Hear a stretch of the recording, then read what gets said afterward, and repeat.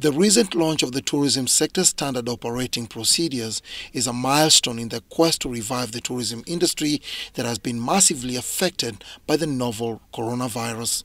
The tourism sector is, uh, is a growing sector that has majority of the operators as a small to medium, you know, uh, businesses.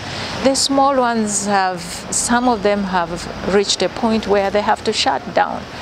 And of course, in terms of arrivals, we had we the internationals we have had zero. Even the domestic one until last month, nobody was traveling, so no one was earning any money. With no foreign visitors coming into the country and locals hesitant to resume their previous spending patterns, the industry wars are not about to end. Various stakeholders in the tourism and hospitality industry are continuing to lobby for the lifting of the ban on commercial flights to Uganda. Although it's vital in improving the subdued business environment, and Entebbe International Airport's capacity to effectively and safely handle huge numbers of travelers is questioned. This is the only main entry and exit for the country.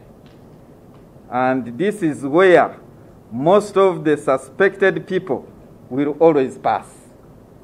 Therefore, the control at the Entebbe International Airport has to be robust.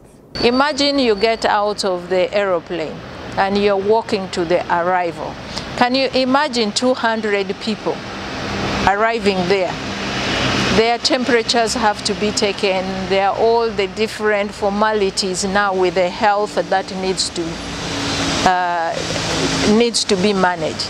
You can't be having 200 people standing in that place. So they have provided for additional space where it's more like a holding place, but they need to make it better.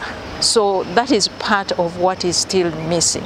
In 2019, over 1.6 million foreign visitors accessed Uganda through Entebbe International Airport. In 2020, the number was projected to surpass